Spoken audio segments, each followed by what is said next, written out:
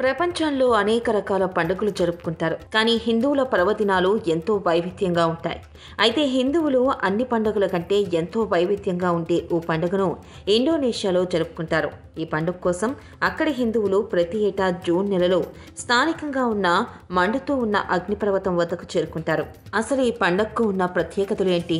వాళ్ళు అగ్నిపర్వతం ఎందుకు పెడతారంటే ఇండోనేషియాలోని హిందువులు జూన్ నెల మొదటి వారంలో జరుపుకునే ఈ పండుగ పేరు యజ్ఞ కాసడా స్థానికంగా ఉండే హిందూ తెంగేరీస్ కమ్యూనిటీ ప్రజలు దీన్ని ఎన్నో తరాల నుంచి ఆనవాయితీగా పాటిస్తూ ఉన్నారు. ఇక ఈ పండుగ కోసం వారు ఇండోనేషియా జావా ప్రావిన్స్లోని ప్రొబోలింగోలో మండుతున్న అగ్నిపర్వతం బెలం వద్దకు వేలాది సంఖ్యలో గుమిగూడుతారు. ఈ అగ్నిపర్వతం ఏడు వేల ఆరు వందల నలభై ఒక్క అడుగులు ఎత్తు కావడం గమనార్హం.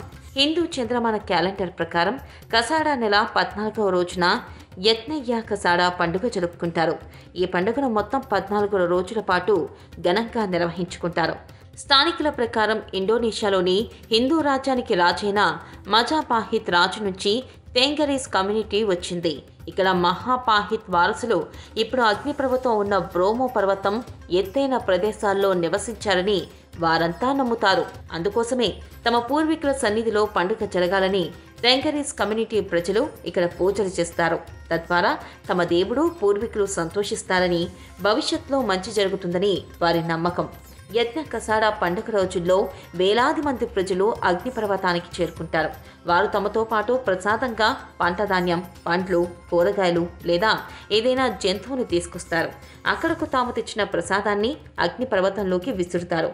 తెంగరీస్ కమ్యూనిటీ ప్రజలు ప్రసాదం అందించడం ద్వారా దేవునికి తమ కృతజ్ఞతలు తెలుపుతున్నామని నమ్ముతారు. అగ్నిపర్వతంలోని బిలంలోకి ప్రసాదాన్ని విసిరిన తర్వాత కొందరు అందులోకి దూకుతారు. దేవుణ్ణి సమర్పించిన ప్రసాదంలో కొంతైనా తీసుకోవాలని వారి భావన. అలాగే ఇలా చేస్తే భగవంతుని విశేష అనుగ్రహం తమపై ఉంటుందని వారి ప్రజల నమ్మకం. అయితే ఇలా చేయడం వల్ల అగ్నిపర్వతంలోని లావాలో పడి మరణించిన సందర్భాలు కూడా లేకపోలేదు. అలాగే అగ్నిపర్వతంపై నిలబడి ఉన్న వ్యక్తులు లోపలికి విసిరిన ప్రసాదాన్ని పట్టుకోవడానికి కూడా కొందరు ప్రయత్నిస్తారు. ఇది తమ అదృష్టానికి చిహ్నంగా కూడా పరిగణిస్తారు. కాగా ప్రపంచంలోనే అత్యధిక సంఖ్యలో అగ్నిపర్వతాలను కలిగిన దేశం ఇండోనేషియా అని తెలిసిందే.